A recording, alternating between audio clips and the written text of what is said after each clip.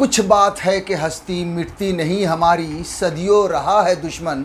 दौरे जहाँ हमारा। नमस्कार, मैं हूँ Iqbal Parvez. India News desk में आपका स्वागत है। साथियों, किसान हो या कांग्रेस, इनकी हस्ती को मिटाने के लिए, इन्हें दबाने के लिए, इन्हें कुचलने के लिए, भारतीय जनता पार्टी की सरकार ने, मोदी सरकार ने हर मुमकिन कोशिश कर ली है, मगर ना ही ये दब रहे हैं, ना ही ये झुक रहे हैं, बल्कि सरकार की हर गलत नीतियों के खिलाफ लगातार आवाज़ उठा रहे हैं। जी हाँ किसान जिस तरह से लड़ रहा है, पिछले दस महीनों से हम सबने देखा है कि मोदी सरकार के हर अत्याचार को सहा है। गोदी मीडिया के ज़रिए खूब उनके खिलाफ प्रोपेगेंडा हुआ, मगर किसान इस देश का नहीं मिटा है और ना ही उनके हौसले पस्त हुए हैं। हम किसानों की बात अपने वीडियो में आगे करेंगे। उससे पहले हम बात कर लें सबसे पहले कांग्रेस की, जो कांग्रेस लगातार भारतीय जनता पार्टी की सरकार से लड़ रही है। जी हाँ नरेंद्र मोदी की जब सरकार आई थी, भारतीय जनता पार्टी जब सत्ता में आई थी तो कांग्रेस मुक्त भारत का अभियान चलाया गया था और इस अभियान में सबसे ज़्यादा हथियार का काम किया था गोदी मीडिया ने, साथियों। मगर ये मुमकिन नहीं है कि कांग्रेस को रोका जा सके, उन्हें दबाया जा सके, या फिर कांग्रेस मुक्त भारत बनाया जा सके, क्योंकि इस कांग्रेस ने आज़ादी में भी बड़ा योगदान दिया है साथियों। अब भी नरेंद्र मोदी की जो सरकार है, उनकी जो सत्ता है और जिस तरह से नरेंद्र मोदी की सरकार ने भारत का बेड़ा गर्क किया है उसके लिए भी कांग्रेस लगातार लड़ाई लड़ रही है। हम आपको कुछ तस्वीरें दिखाने जा रहे हैं। आप देखिए कि मोदी की सरकार में बेरोज़गारी का आलम क्या हुआ, महँगाई का क्या आलम हुआ। नरेंद्र मोदी सत्ता में आने से पहले हंगामा कर रहे थे जगह जगह आवाज़ उठा रहे थे कि कांग्रेस की सरकार ने युवाओं को रोज़गार नहीं दिया। हम दो करोड़ रोज़गार देंगे हर साल। उसके अलावा आप देखिए, महँगाई के मामले में भारतीय जनता पार्टी लगातार सड़क पर होती थी, मगर जितनी महँगाई मोदी सरकार में बढ़ी है। शायद ही किसी सरकार में इतनी ज़्यादा महँगाई बढ़ी हो। ज़ाहिर सी बात है, ऐसे में कांग्रेस अब मोर्चा संभाल कर खड़ी है और नरेंद्र मोदी की हर नीतियों के खिलाफ सड़क पर है। मगर आप देखिए कि कांग्रेस जिस तरह से आवाज़ उठा रही है, उसको दबाने का काम मोदी सरकार तो कर ही रही है। जी हाँ गोदी मीडिया भी कर रही है। वो आगे मैं बताऊँगा आपको कि गोदी मीडिया किस तरह से कांग्रेस को दबाने के चक्कर में लगी हुई है। कांग्रेस का सफाया करने के चक्कर में लगी हुई है। मगर उससे पहले आपको बता दूँ कि अभी गोवा में एक तस्वीर आपको दिखाता हूँ, जो जो राष्ट्रीय अध्यक्ष हैं श्रीनिवास वी भी उनके उनके उनके नेतृत्व में गोवा में ज़बरदस्त तरीके का आंदोलन चल रहा है। वहाँ महँगाई के ख़िलाफ़, बेरोज़गारी के ख़िलाफ़ आंदोलन चल रहा है। आप तस्वीरों को देखिए कि किस तरह से पुलिस इन पर बर्बरता दिखा रही है, पुलिस लाठी चला रही है इन पर। उसके अलावा आपको एक और तस्वीर मैं आपको दिखा रहा हूँ। अखिलेश यादव है, जो नेशनल सेक्रेटरी हैं इंडियन यूथ कांग्रेस पर। इन, इनकी भी आप तस्वीरों को देखिए कि किस तरह से पुलिस ने इन पर लाठी लाठी चलाई है इनको किस तरह से पीटा है? मगर यही है हौसले कांग्रेस के जो न रुकने का नाम ले रहा है न थमने का नाम ले रहा है और नरेंद्र मोदी की सरकार के सामने गले की हड्डी बनकर खड़ी है ये कांग्रेस। उनकी हर नीतियों के खिलाफ आवाज़ उठा रही है। आप एक बार फिर से इन तस्वीरों को देखिए।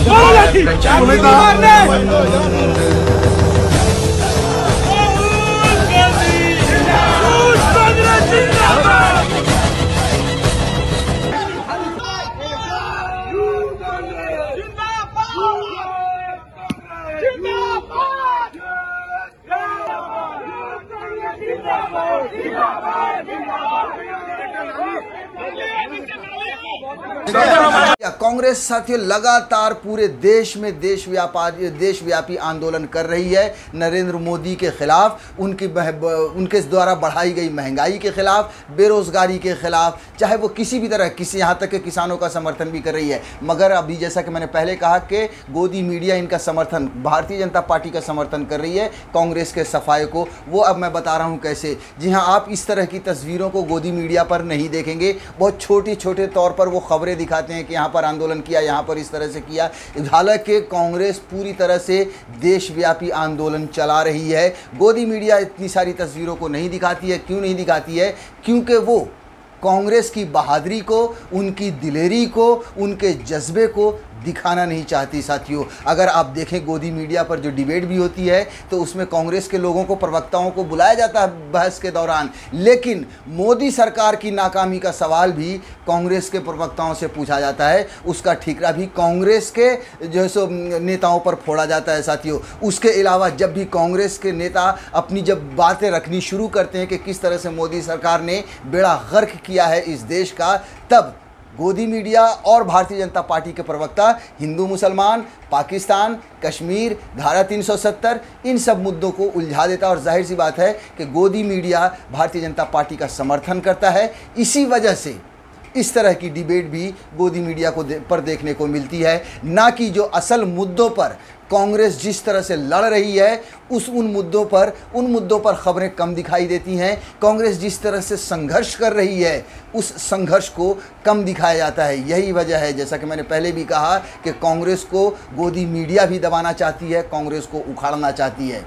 अब साथियों हम बात करते हैं किसानों की। जी हाँ कांग्रेस हो या किसान, जैसा कि मैंने शुरुआत में ही कहा कि ये दोनों अड़े हुए हैं, मोदी सरकार से लड़ रहे हैं और ये दोनों कांग्रेस हो या किसान, मोदी सरकार के गले की हड्डी बने हुए हैं। किसानों का आंदोलन भी देखिए तो जिस तरह से कांग्रेस अड़ा हुआ है, लड़ रहा है भारतीय जनता पार्टी से, उसी तरह से किसान भी हर तरह का, जी हाँ हर तरह के जुल्म को सह रहा है और लगातार दस महीने से आंदोलन कर रहा है। मोदी सरकार ने किसान आंदोलन को कुचलने के लिए उन्हें गुंडा कहा, उन्हें मवाली कहा उन्हें आतंकी कहा, उन्हें खालिस्तानी कहा, उन पर पानी की बौछारें की, उन पर डंडे चलाए, मगर ये किसान न ही टूटा है, ना ही डरा है, और ना ही इनके हौसले पस्त हुए हैं। दस महीने से मोदी की नाक में दम कर दिया है। और बड़ी बात यह भी है कि इन किसानों के समर्थन में कांग्रेस है। जी हाँ अगर आप गोदी मीडिया पर, इस पर भी डिबेट अगर आप देखें किसानों पर भी तो लगातार बार बार ये कहा जाता है कि किसान राजनीति कर रहा है। कांग्रेस किसानों के नाम पर राजनीति कर रही है। तो भाई, इसमें गलत क्या है? भारतीय जनता पार्टी को ही सिर्फ़ अधिकार है राजनीति करने का। अगर किसान राजनीति करे तो गलत है। अगर कांग्रेस राजनीति करे तो गलत है। अगर कांग्रेस किसानों का साथ दे तो गलत है। इसमें गलत क्या है? कुल मिलाकर साथियों, भारतीय जनता पार्टी जितना भी कोशिश कर ले, वो ना किसानों को दबा सकता है, ना उनके आंदोलन को दबा सकता है और ना ही कांग्रेस का कभी सफाया कर सकता है। हाँ गोदी मीडिया भले साथ ना दे, लेकिन सोशल मीडिया एक ऐसा प्लेटफॉर्म है जो अपनी आवाज़ को, जो कांग्रेस हो या किसानों की आवाज़ हो, जो कांग्रेस के, की जो मेहनत है, उनकी, उन, उनका जो विरोध प्रदर्शन है, उनको लगातार देश और दुनिया तक पहुँचा रहा है, जिसकी वजह से, जी हाँ इसी सोशल मीडिया से लोगों को, लोगों तक ये खबर पहुँच रही है कि कांग्रेस किस तरह से भारतीय जनता पार्टी के नाक में दम किए हुई है, किसान किस तरह से भारतीय जनता पार्टी से लड़ रहा है और लोहा ले रहा है। और जिस तरह से ये भारतीय जनता पार्टी से नरेंद्र मोदी और पूरे सिस्टम से लड़ रहे हैं, एक न एक दिन जीत निश्चित ही होती है, क्योंकि हिम्मत करने वालों की हार कभी नहीं होती साथियों। भारतीय जनता पार्टी जितनी भी कोशिश कर ले, ये कांग्रेस को उखाड़ नहीं सकते, कांग्रेस मुक्त भारत नहीं बना सकते। हाँ जिस तरह से मोदी ने भारत के लिए काम किया है, भारत का बेड़ा गर्क किया है, एक न एक दिन वो ज़रूर आएगा। जब मोदी मुक्त या भारतीय जनता पार्टी मुक्त, भारत ज़रूर बनेगा।